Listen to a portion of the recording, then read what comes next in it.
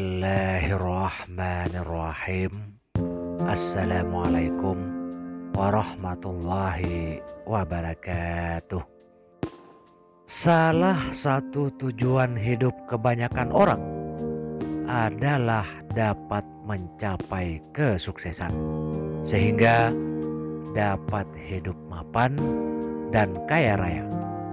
Selain diperjuangkan lewat usaha, beberapa orang juga memperjuangkan hal itu dengan tindakan yang terkadang kerap meleset dari logika kebanyakan orang. Namun, tindakan-tindakan semacam ini malah mereka lakukan atas kepercayaan masing-masing. Oleh sebagian orang, beberapa benda yang ada di rumah terkadang disangkut pautkan dengan mitos dan kutukan. Sebagian orang percaya jika benda-benda ini akan menghambat rezeki seseorang dan harus dimusnahkan dari dalam rumah. Nah, pada video kali ini channel Maswil Huda akan berbagi 10 benda yang ada di rumah yang diyakini menghambat datangnya rezeki bagi si pemilik rumah.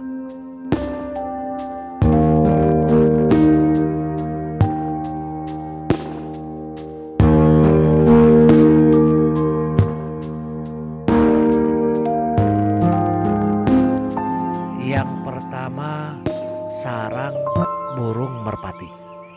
Ada banyak mitos yang mengatakan membiarkan sarang burung merpati yang menempel di dinding dan atap rumah dapat menyebabkan ketidakstabilan rumah. Menurut mitosnya, jika dibiarkan terus-menerus akan menciptakan kemiskinan pada si pemilik rumah. Maka dari itu, bagi Anda yang masih mempercayai hal sedemikian, anda bisa mempertimbangkan hal ini. Usahakan walaupun Anda pecinta burung merpati untuk kandangnya tidak menempel di dinding atau atap rumah.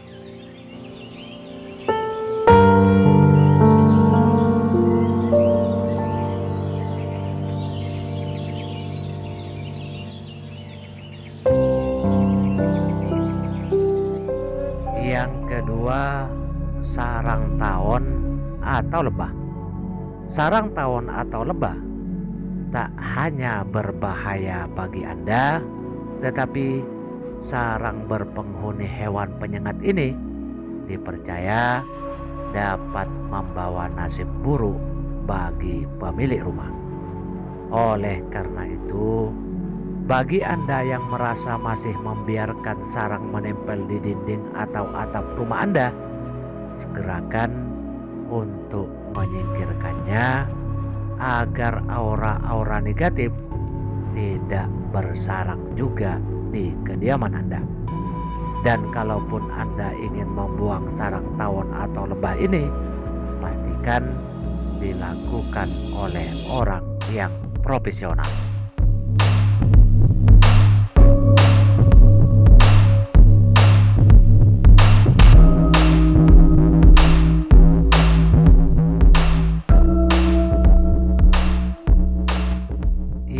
Ketiga, sarang laba-laba. Sarang laba-laba sepertinya adalah objek yang paling sering ditemui di rumah-rumah orang. Jika tidak rajin dibersihkan, maka sarang ini akan menumpuk di dinding-dinding rumah Anda. Membersihkan sarang laba-laba juga dianjurkan bagi pihak yang mempercayai hal ini. Karena sarang laba-laba yang menempel di dinding atau di bawah atap rumah memberi aura negatif bagi si pemilik rumah.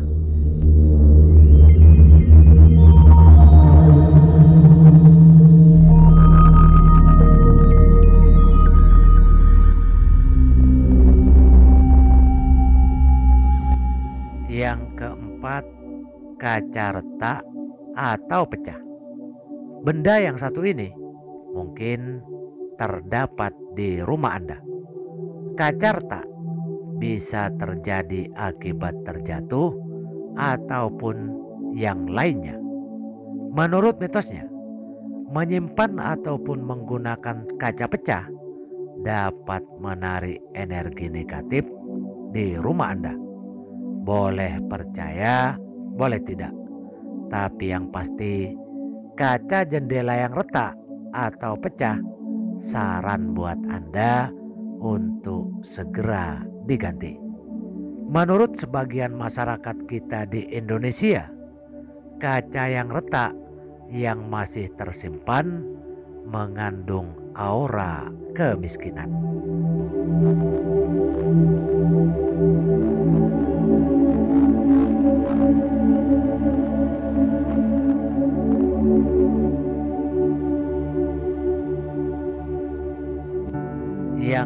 Kelima, kelelawar. Hewan yang satu ini memang identik dengan hal-hal mistis. Suasana malam yang mencekam menjadi situasi paling sempurna bagi kelelawar. Jika Anda tinggal di wilayah yang sering ditempati oleh kelelawar, pastikan untuk menutup pintu dan kaca rumah Anda dan jangan biarkan ia masuk. Karena kelelawar yang bergelantungan di sekitar rumah akan memberi efek negatif bagi si pemilik rumah.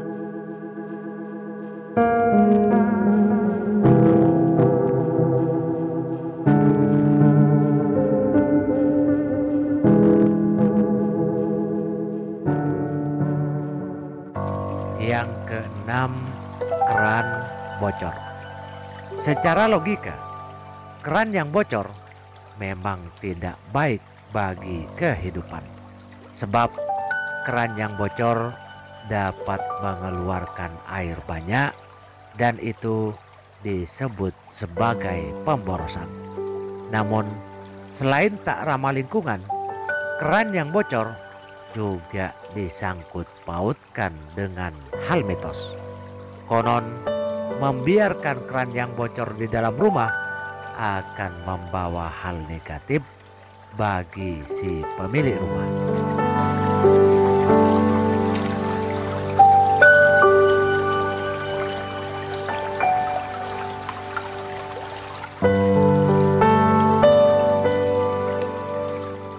Yang ketujuh, teras rumah berantakan. Menumpuk benda-benda yang tak lagi digunakan di depan teras rumah memang menjadi kebiasaan. Selain tidak sedap dipandang mata, benda-benda yang menumpuk di depan rumah menjadi salah satu penghambat rezeki. Bagi yang masih mempercayai hal ini, saran terbaik bagi Anda mulai saat ini untuk memperhatikan kebersihan teras rumah.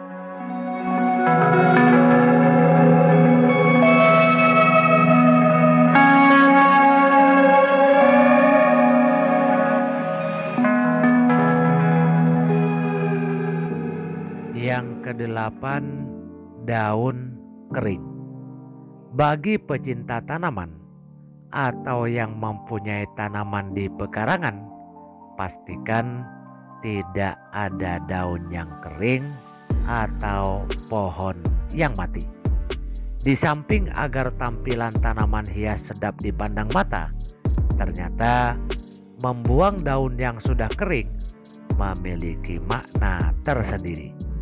Dipercaya sebagian orang, daun-daun kering yang ada di muka halaman rumah dapat mengakibatkan krisis finansial.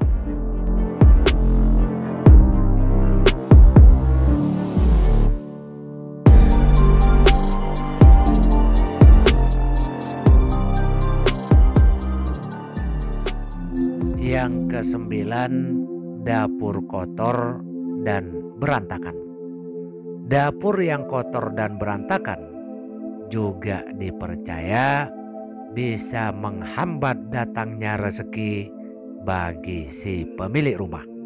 Terlebih jika membiarkan tumpukan piring dan gelas yang masih kotor dipercaya sebagai tempat bersarangnya setan. Oleh sebab itu, mulailah dari sekarang untuk merubah suasana dapur Anda. Selain untuk enak dipandang, dapur yang bersih dan teratur juga bisa menarik aura positif bagi pemilik rumah.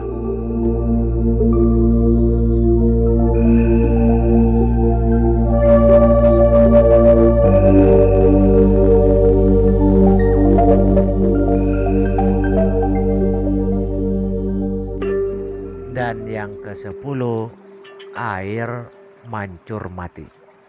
Beberapa orang suka membuat taman di halaman depan atau belakang rumah. Untuk itu, pastikan air mancur tak kering dan tak berhenti mengalir.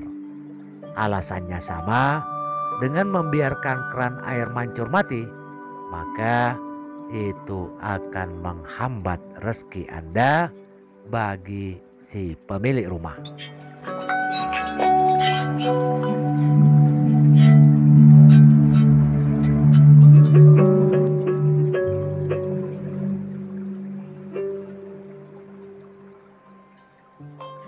Itulah sepuluh benda yang ada di rumah yang dipercaya oleh sebagian orang bisa menghambat datangnya rezeki bagi si pemilik rumah. Anda boleh percaya, boleh tidak. Bagi yang masih mempercayai hal-hal yang sedemikian, segeralah singkirkan benda-benda tersebut. Dan bagi yang tidak mempercayai hal seperti itu, anggap saja ini sebagai penambah pengetahuan atau wawasan. Tapi yang pasti, bila Anda ingin cepat kaya, gigihlah berusaha dan bekerja, serta iringilah dengan doa. Sebab bekerja saja tanpa doa adalah sombong, dan berdoa saja tanpa usaha adalah hal yang mustahil. Semoga apa yang disampaikan ini bermanfaat. Wabillahi taufiq wal hidayah. Wassalamualaikum warahmatullahi wabarakatuh.